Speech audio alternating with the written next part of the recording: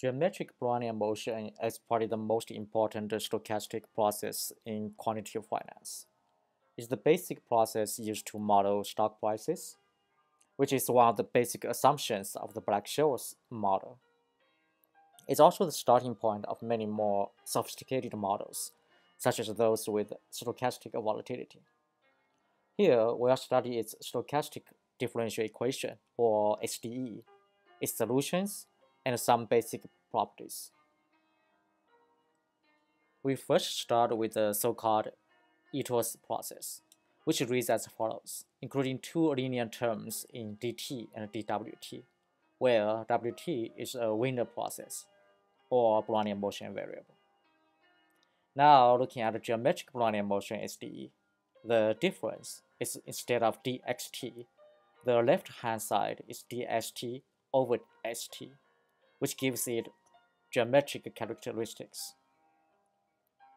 Compare it with a non-stochastic SDE, a simple one, dyt over yt equals dt, which can be solved by variation of parameters. We have the solution in logarithmic form, log yt equals t, or the exponential form, yt equals exponential t. Unfortunately, the geometric Brownian motion SDE has a stochastic term dwt here. So what we need to do is to solve or differentiate d log st first, for which we need to go to the second order in st or wt, because that's still the first order in t. Or you can use um, Itô's lemma directly. So differentiate d log st to second order and plug in the original SDE. We got d log ht equals mu minus half sigma square dt plus sigma dwt. And integrate both sides, we get ht equals exponential mu minus half sigma squared t plus sigma wt with some boundary uh, conditions. Taking a closer look at the solution, we notice the similarity to the log normal distribution, x equals exponential mu plus sigma z, where z follows standard normal distribution.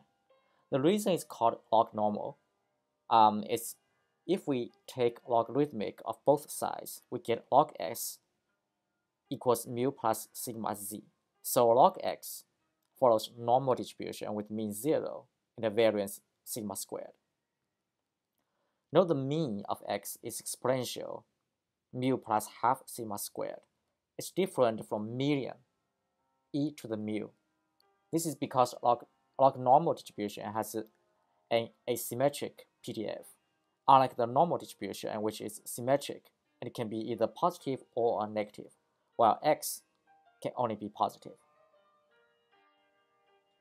Now, unsurprisingly, the expected value of ht has the variance term in the exponent as well. And since variance of sigma wt is sigma squared t, it offsets the sigma squared t in the first term, and it, and will arrive at e to the mu t, so the expected value is just the drift. Okay, obviously there's a lot more to learn about geometric Brownian motion, but hopefully this is a good start and it's helpful. Thanks for watching and hope to see you next time.